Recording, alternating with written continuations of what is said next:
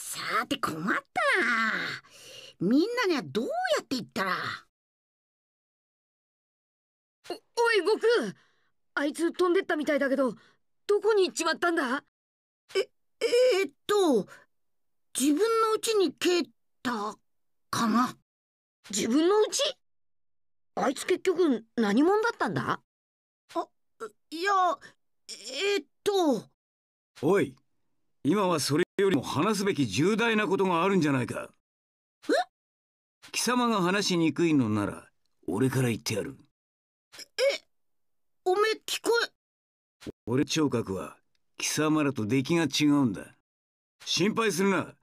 奴の存在を消すような余計なことだけは言わん。ろくな修行もせずに殺されたんじゃたまらんからな俺たちも。殺される？どういうことだ？告げられた衝撃の前人造人間を迎え撃て。ピッコロはトランクスのことだけはうまく謎のままにし全てを皆に話した。さすがに誰もがショックの色を隠せなかったようだが3年後に現れるという恐ろしい2体の人造人間。歴史に逆らいその殺人マシンとの戦いに生き残るべくそれぞれが厳しい修行をする決意でいた。じ人造人間か。まさかレッドリボン軍の名前を今になって聞くなんてな。しかし奴が未来から来ては。オラも驚いたけどでもあいつは信じていいと思う。カカロット教えろ。貴様ナメック星でどうやって生き残った？そそうだ。俺たちずっと心配してたんだぞ。ああほらもうあん時ダメかと思ったんだけど最後の最後で運よく玉っころみてえな宇宙船見つけてよ。そそうか。ギニュー特戦隊。奴らの乗ってきた船だ。そいつ乗って脱出したら勝手にヤードラットっちゅう星についちまったギニューたちはヤードラットを攻めていた。そこに着くようインプットされていたんだ。なるほど。その妙な服はヤードラット人のものか。あ仲良くなってさもらったんだ。ほらのはボロボロだったし。貴様のことだ。ヤードラットに行ってただ帰ってはくるまい。奴らは力はないが不思議な術を使う。そいつを習っていやがったな。へへ。あったり時間がなくて教えてもらった技一つだけだけど瞬間移動っちゅうやつができるようになったぞ。しゅ瞬間移動？つっても移動するには場所じゃなくて人の気を感じ取る必要があるんだ。つまり知ったやつのいねえ場所とかいけねえ。はあ、そこがちょっと欠点かな。いいいや十分だろうあんた今やもう何でもありね。よし。ではみんな3年後に現地で集合しよう。3年後のいつどこへ行けばいいんだ？3年後の5月12日午前10時頃。南の都の南西9キロ地点にある島だ。1時間前午前9時にでもその島に着かろう。言っておくが自信のない奴は来るな足手まといになるようなものにいられちゃかなわんからな。カカロットスーパーサインになったからっていい気になるな。この俺はそのうち必ず貴様を叩きのめしてみせる。サイヤ人ナンバーワンは俺だってことを忘れるな。あじゃあ3年後のえっ、ー、とその場所で本当に自信のあるもんだけで構わねえかんな。よしオラたちも行くとすっか。そうだピッコロ。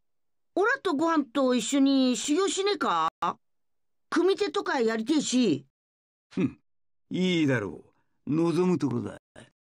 やった。ピッコロさんと一緒に修行できるんですね。そんじゃみんな3年後にまた会おうな。おう。ねえお父一度うちに帰るでしょ？お母さんが待ってるよ。そうだな。父に顔見しとかなきゃいけねえだろうな。ピッコロまずオランチ寄っていいか？構わんがあまり時間をかけるなよ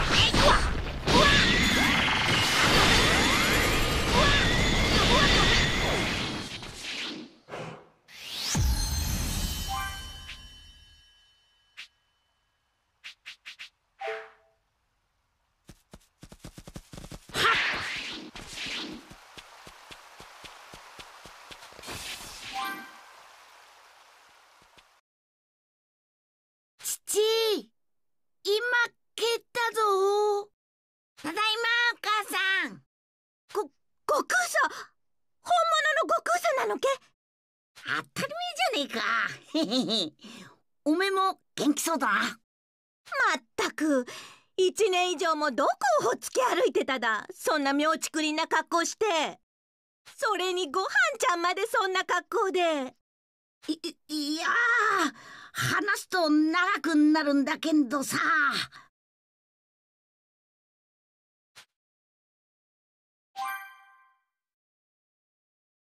はあ？3年後に人造人間が来るからごはんちゃんを修行させてけれって？まあいいだろ？いい加減にしてけれ！冗談じゃねえ！悟空さどこまでごはんちゃんの勉強の邪魔したら気が済むだよ？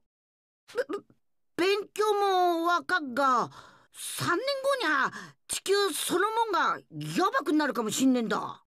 ダメだダメだ！なんと言おうと許さねえじゃあおめえは地球の未来よりご飯の勉強の方が大事だって言うんか？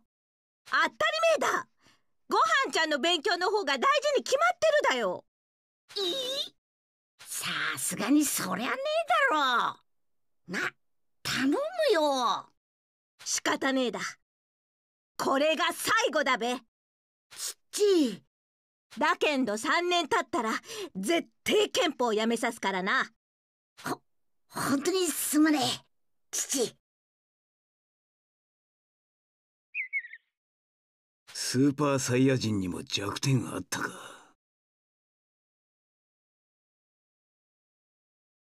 よし。そんじゃ修行に行くとすっか。悟空。悟空よ。聞こえるか？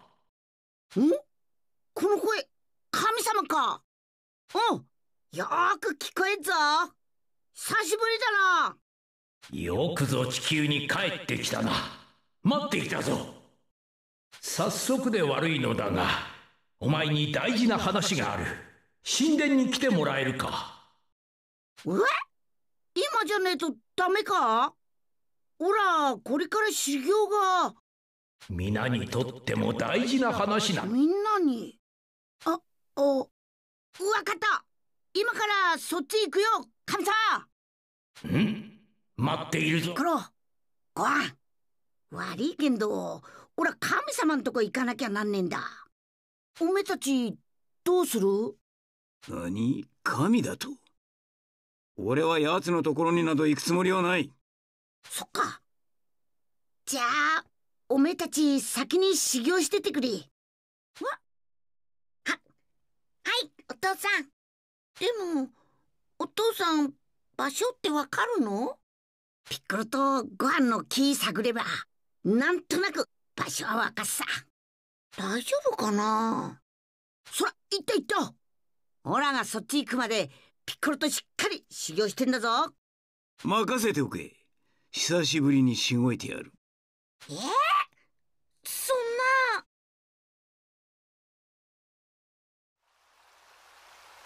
神様の大事な話か。なんだろうな。